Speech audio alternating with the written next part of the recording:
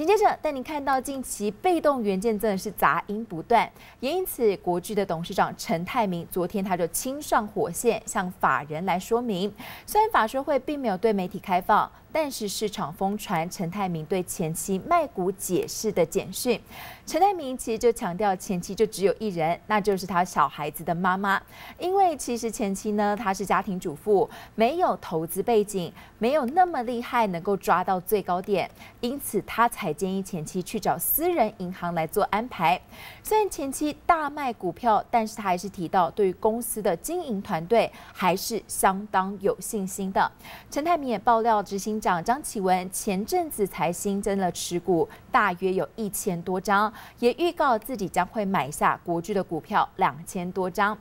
此外，对于近期市场的供需缓解的传闻呢，陈泰明也表示说他百思不得其解。他说，MLCC 的供需仍然相当吃紧，不用说台湾五哥了，是二十哥都得要找他来签长约，但是缺货缺到他签不下去。而陈泰明也对投资人信心喊话，他坚信两年之后，国巨仍然是台湾最强的被动元件厂商，并且表示，二零二一年新厂完成之后，预估能够满足供需缺口达到百分之六十以上。而法说会后，其实外资圈对国巨大多都保持着乐观看法，像是小摩呢，还有汇丰以及巴黎证券都预估国巨的股价渴望来到一千五百四十五块钱，甚至上看一千六百五十块。不仅如此，受到 MLCC 的缺货激励，外资还直接调升国巨的财务预测，预估今年的 EPS 上看一百零九块钱，